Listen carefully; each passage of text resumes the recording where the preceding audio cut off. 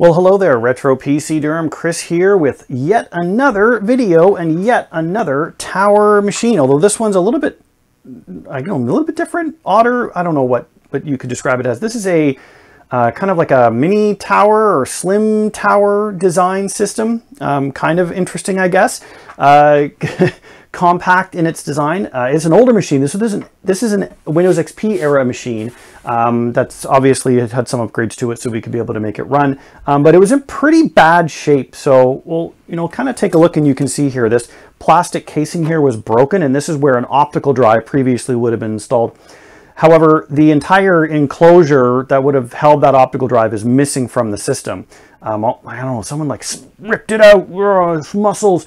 Um, so yeah, it's it's it's a little bit worse for wear. It's seen better days, but structurally it's still intact and we're able to, to use it. So um, flip around to the back here and you can see this uh, slim design uh, at work here. We've got a pretty full system board here, a combo keyboard mouse port. Then we've got our USB combo video outputs as well as an HDMI output, full um, audio, a lot of USB, there's even a firewire output, it looks like here. A little bit of extra fluff that's been gathered up on my floor in the last couple days. Um, and then it even, this obviously must have been some kind of business machine because it's even got a set of keys here to lock the, uh, the, the panel here for taking off the side panel. Anyways, um, we'll give you the top-down view and we can see what's going on inside this machine now.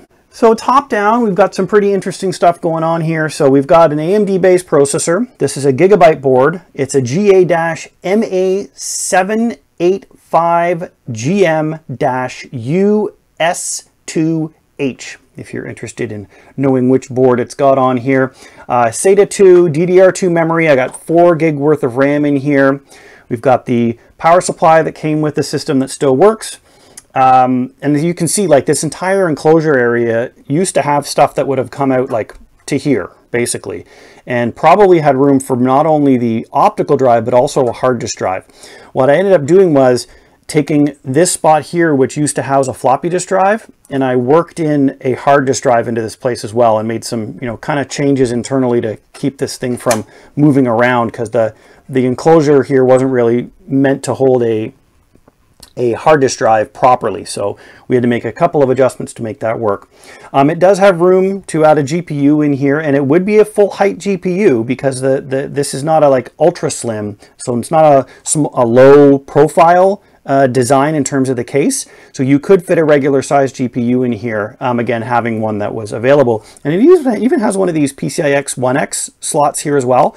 So you could add a Wi-Fi, ideally that's what you'd be putting there, is putting a Wi-Fi adapter in if you wanted to add Wi-Fi to this without using like a USB 2.0 Wi-Fi uh, dongle or something.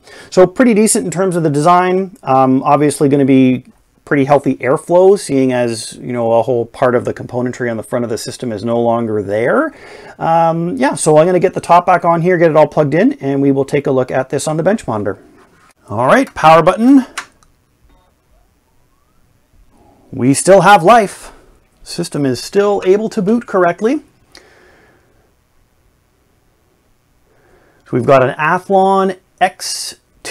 So it's an Athlon 64X2 processor. That's going to be a dual core processor, but again, older technology, as with almost every machine that I work on here for the most part, um, is a much older machine uh, will be kind of the last gasps of Windows 10 capable uh, systems uh, as Windows 11 kind of becomes the new uh, Windows desktop standard. Um, but we still got till 2025 before a system like this is completely obsolete and unable to do um, anything that is supported without moving to a, a Linux platform, which hopefully by 2025, uh, Linux will have finally reached the maturity of being able to run as a traditional um, uh, non-computer savvy operating system for desktop environments. So deliver the same type of environment that you can get from a, a tablet or a smartphone experience, but on a desktop. Um, not necessarily having to be a cloud-based experience though, like you get with um, uh, with like a, a, Chrome Chromebook type uh, setup. All right, after uh, After a considerable wait to uh, get all of the sensors read, we are now up and running in hardware info so we can show off this Athlon 64X2 4400 Plus processor. It's a dual core non-hyper threaded a base uh, 2.3 gigahertz processor. Again, uh, older, so it doesn't have a ton of the uh, chipset uh, features and instruction sets that a more modern processor has, and that's part of the reason why older processors like these don't run very well on newer systems, because the most latest and greatest system is going to be looking for these instruction sets like AVX, AVX2, AVX512, that this simply doesn't have. So uh, storage wise, we've got a 500 gig Hitachi drive in here. It's running on uh, six, uh, three, gigabit per, three gigabit per second uh, performance.